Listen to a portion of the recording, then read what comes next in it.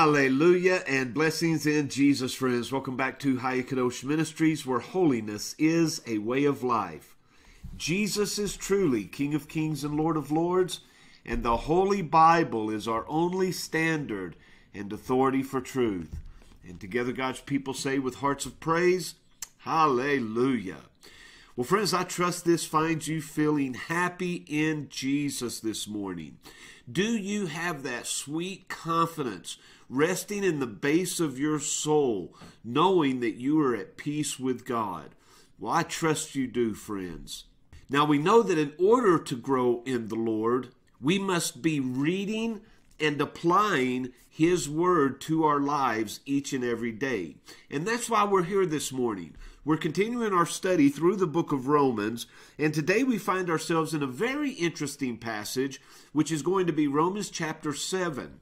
Now, many read this and automatically apply it to our earthly lives, our earthly relationships. But you must understand that Paul is simply using an illustration from an earthly relationship to identify our relationship with the Lord Jesus. So, to help you better understand that, let's just pick up in verse 1. Know ye not, brethren, know ye not, sisters, for I speak to those who know the law.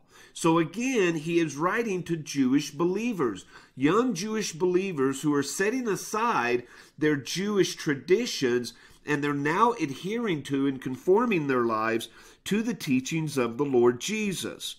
And so he says, Know ye not, brothers and sisters, how that the law has dominion over a man as long as he lives?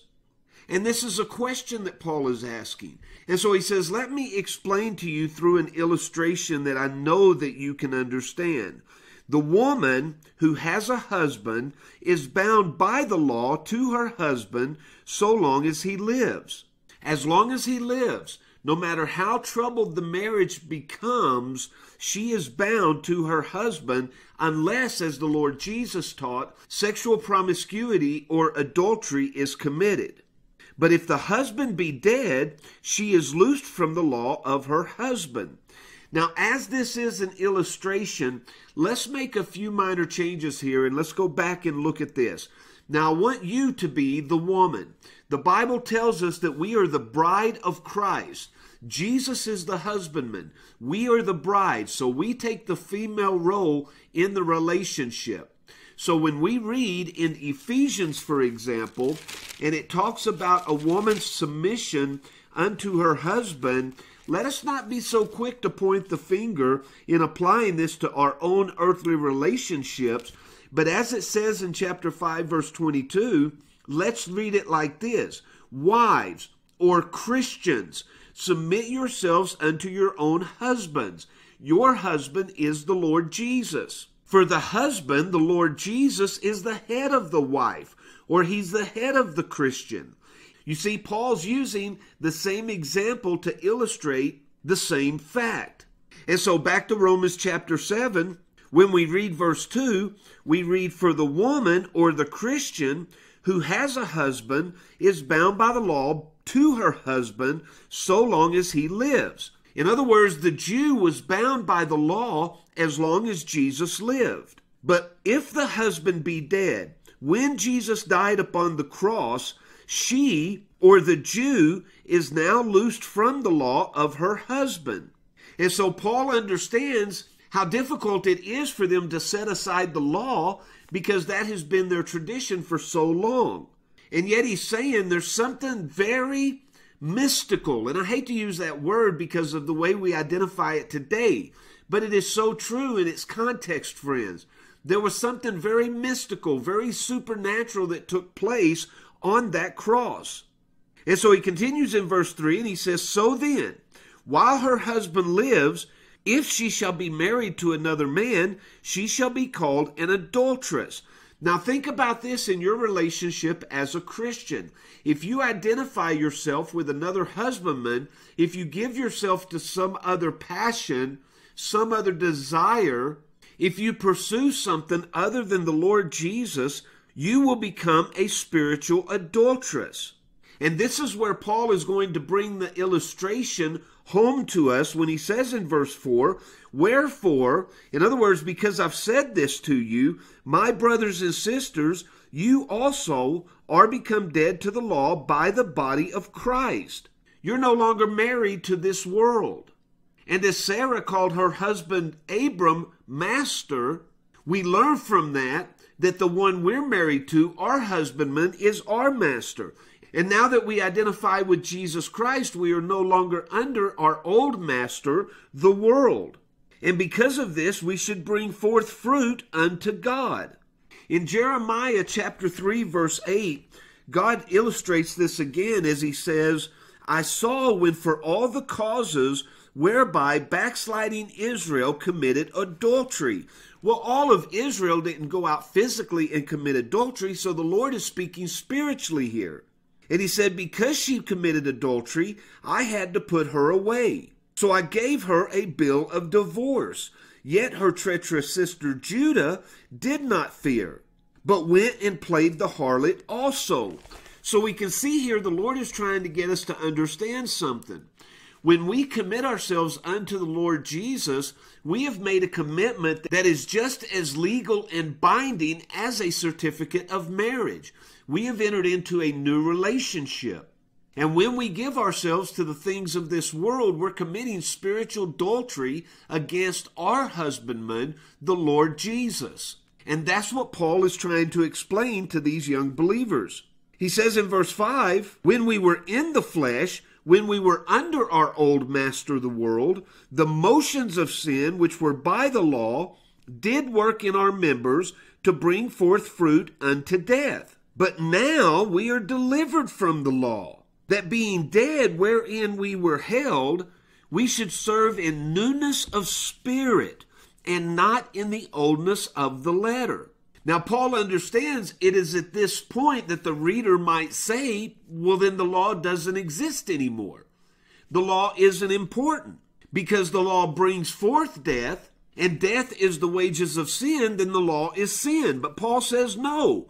What shall we say then? Is the law sin? God forbid. I had not known sin but by the law. For I had not known lust or covetousness, except the law had said, Thou shalt not covet. So the law is our schoolmaster teaching us what is right and what is wrong. But sin in verse 8, taken occasion by the commandment or by the law, wrought in me all manner of concupiscence, which is simply the diseased condition of the soul to desire things that appeal to us and satisfy us rather than offering ourselves as slaves unto God and unto others, taking a servant mentality. And Paul says in verse 12, the law is holy. The commandment is holy. It is just and it is good. And he says in verse 22, I delight in the law of God after the inward man. However, I see another law in my members warring against the law of my mind and bringing me into captivity to the law of sin which is in my members. Why? Because in verse 15, that that I would do, I do not do. And what I hate, that is the thing that I do. Paul is simply recognizing that there is a battle going on within him a desire from the mind to do the things that are pleasing to God, but the flesh warring against him. And even when he does good in verse 21, evil is present. Why? Because of the flesh, because of those sinful desires that lie within the flesh.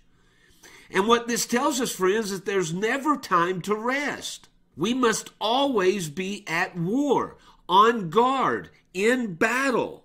And we understand that this battle takes place within the mind. That's why Paul says in 2 Corinthians chapter 10 verse 4, the weapons of our warfare, they're not carnal. They're not wood and steel. They're not swords and guns.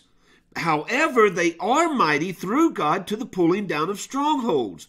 So we cast down imaginations which come from the mind we cast down every high thing that exalts itself against the knowledge of God, against the truth of God, against God's word. And we bring into captivity every thought to the obedience of Christ, having in a readiness being in a position of being on guard to revenge all disobedience when your obedience is fulfilled.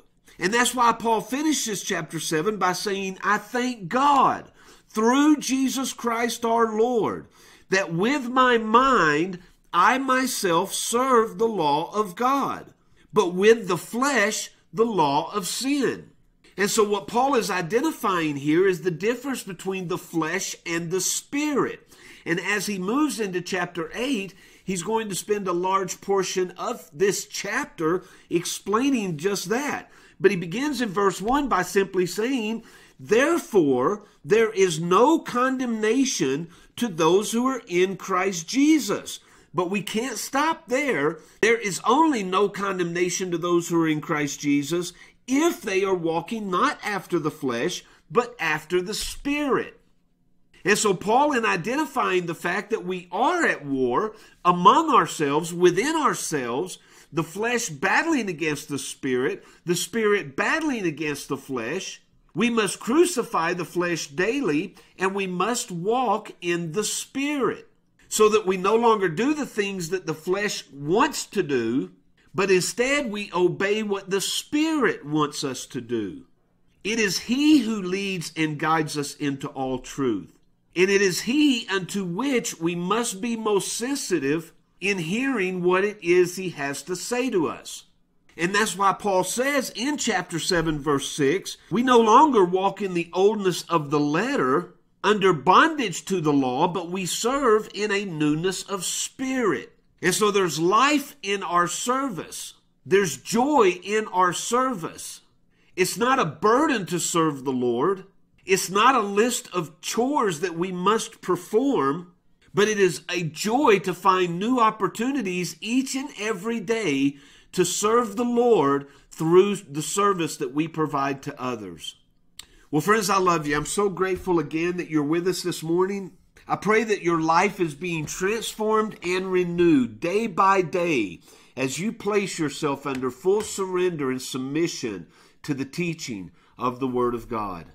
Now, as He wills, and until next time, friends, I truly love and care about you, and I'll see you on the next video.